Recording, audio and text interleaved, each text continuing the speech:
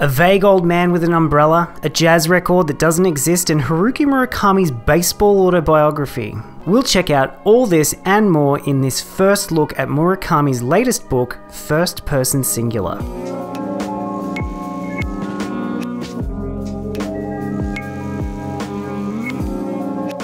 Welcome back to Up Late with AG MacDonald. If this is your first time here, I'm AG MacDonald. I'm a writer and podcaster, and I was lucky enough to be approached by Knopf Publishing with an advanced copy of Haruki Murakami's First Person Singular, and I really wanted to talk about this book.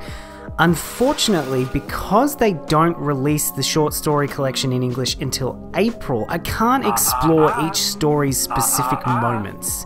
Instead, I figured I would give my first impressions of the book and my quick, relatively non spoilery take on each. Eight stories make up this book, and in true Murakami style, neither is like the other. It's too hard to summarize, although that tends to be a problem with Murakami's work in general.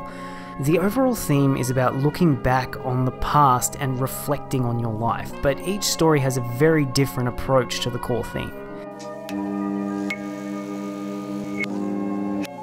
The first story, Cream, is a philosophy of life. It, follows a male protagonist who receives an invitation from a woman he hasn't spoken to in a long time.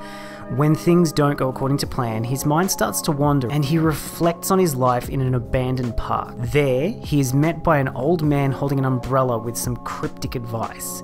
I wasn't sure what to expect with this one, but I think that's the best way to go into a Murakami story because you never know what you're going to get. By the end, I loved this story. In the hands of a lesser skilled writer, this story could have been a meandering mess, but Murakami manages to finish strong with that meaningful punch we've come to expect from his writing. On a Stone Pillow is also about a man who is looking back on his life, but this time he reflects on another Murakami staple sex. This melancholy entry sees a man meditate on a strange sexual encounter. While it shares similarities with Cream, it has a much darker, bleak tone, and in that way, it's almost the exact opposite of Cream. I enjoyed this story, and for the sake of cutting time, let's just assume I loved all the stories in this collection, but Cream did edge this one out just slightly. The third story, Charlie Parker Plays Bossa Nova, is where my favourite kind of Murakami appears, the one that dives headfirst into magical realism. I've made it pretty clear on this channel that my favourite Murakami novel is Kafka on the Shore, so you would know from my previous videos that I love to dissect the strange, weird, and downright disturbing things in these stories. Charlie Parker might not reach the heights of Kafka Tamura's tale, but it does tell a bizarre story that leaves your head buzzing with questions. The story follows a man who, you guessed it, is looking back on his life, particularly his youth when he got his first writing job at an independently published university magazine. He writes a fictional article about a jazz album from Charlie Parker that never existed. The thing I also love about this story was the narrator opens by telling us he writes lies. So, for the rest of the story, I contemplated whether it was magical realism or was the author a fantasist pulling the wool over our eyes as he had with his very first piece of writing.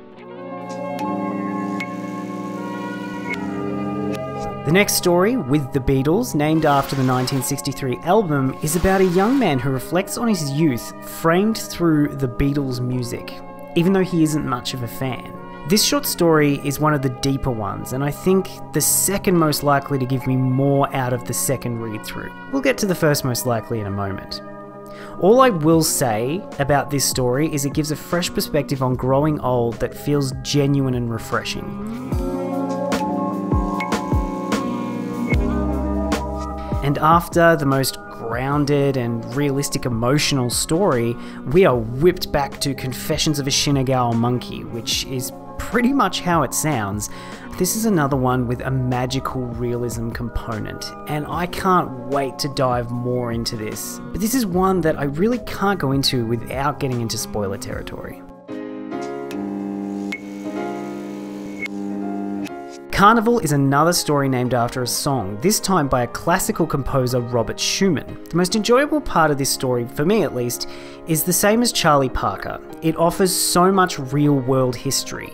You get two stories in one. Murakami delivers the history of this music in such a fascinating way, but it also lends to the realism and credibility of the fictional world. The story begins with a man that strikes up a relationship with what he describes as the ugliest woman he's ever met. Again, a lesser writer could have written the protagonist as a garden variety misogynist, but Murakami puts a much more thoughtful spin on it. The main character doesn't say these things in a malicious or derogatory sense, but he has devised a whole system of logic on the subject. I won't go into the specifics because, well, as I said, I can't, but this story's strength was in its central character and his complex view of the world.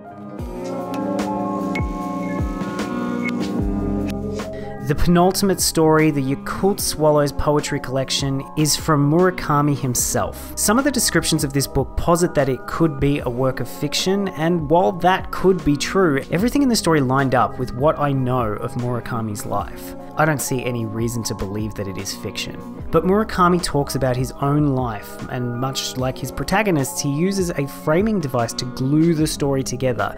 This time, he offers snapshots of his life through his favourite baseball team, the Yakult Swallows. This was a fascinating glimpse into Murakami's life and reminded me in some ways of the article he wrote for The New Yorker, Abandoning the Cat. Finally, we come to first person singular, which is seemingly the most straightforward story in the entire collection, but the story is a drug trip and I can't go into it at all without talking about spoilers. I also think this might be the one that benefits most from multiple readings. So that's my first impressions of First Person Singular. Hopefully you enjoyed it. If you want more Murakami content, I have deep dives into Kafka on the Shore, Colorless Tsukuru Tazaki, and Killing Commendatore.